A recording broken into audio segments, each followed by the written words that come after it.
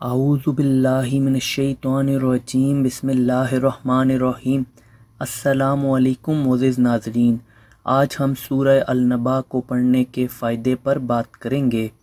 नाजरीन, हमारे मुसलमानों का आलम यह है कि हम लोग दीन से इतने दूर हैं कि हमें बहुत सारी चीज़ों का इल्म ही नहीं है। और ईमान की कमज़ोरी की वजह से भी हम शिरक और दूसरे कामों में पड़ जाते हैं। जबकि वो शख्स जिसका ईमान मज़बूत हो, वो यकीनन अल्लाह पर यकीन करके उसके कलाम से ज़रूर फ़ायदा उठाएगा।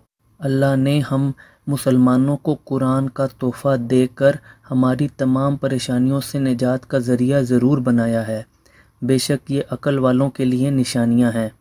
ये दुनिया और इसमें जो कुछ भी है, वो ज़रूर किसी न किसी मकसद के तहत ही बनाया गया है। वैसे ही कुरान की सूरा सूर अलनबा को पढ़कर आप इसके मखसूस फ़वाद को हासिल कर सकते हैं। सूरा अलनबा कुरान पाक के तीसवें पारा के अंदर मौजूद है, जिसको पढ़कर आप इससे ज़रूर मखसूस फ़वाद को हासिल कर लेंगे। इस सूरा में अल्लाह ने क़यामत और आखरत की ख़बरें दी हैं। हजूर अलैहि वसल्लम ने फ़रमाया, जिसने सूरा अलनबा पढ़ी, अल्लाह इसको क़यामत के दिन शराब तहूर पिलाएगा, रूहुल मुआनी। हजूर सल्लल्लाहु अलैहि वसल्लम ने जब लोगों के सामने क़यामत का तस्करा किया तो वो घबरा कर एक दूसरे से पूछने लगे कि ये क्या बात लाए हैं। इस पर सूरत नाजिल हुई।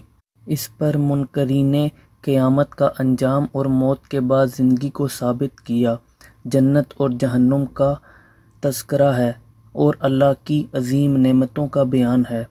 तफसीर रूहुल मुआनी, जो भी शख्स सूरा अलनबा को पढ़कर अपने ऊपर दम करेगा और फिर हाकिम के सामने जाएगा तो हाकिम उस पर मेहरबान होगा और उसकी मुश्किलात आसान हो जाएँगी। नाजरीन, ना सिर्फ़ सूरह नबा बल्कि कुरान की कोई भी सूरा पढ़ें तो लाजमन आप दरुद इब्राहिमी का वर्त करें।